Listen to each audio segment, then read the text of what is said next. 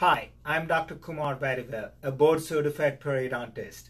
I want to talk to you today about gum disease and why you need to get treatment for it. The symptoms of the gum disease start with bleeding gums for most people. It is still a relatively minor thing at that point called gingivitis, but it can mean some additional attention is needed in the care of your teeth. If you do nothing about it, from there it slowly becomes periodontal disease, which is much worse. When it reaches this stage, you are likely to see red and infected gums, receding gums, and it may hurt to chew your food.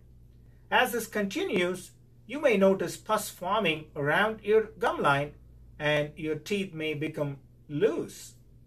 Once this stage has been reached, you will need specialized dental care to stop it.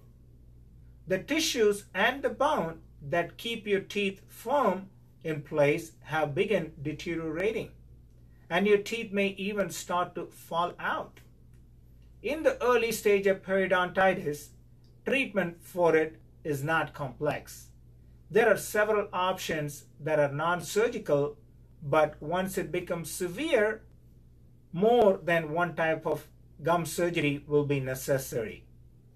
Preventing periodontitis from occurring is really the best way to stop it. If you let the daily care of your teeth go, it is going to cost you a lot to get your gums and teeth repaired. Why not start today with a better regimen of dental care to protect your gums and your teeth looking great?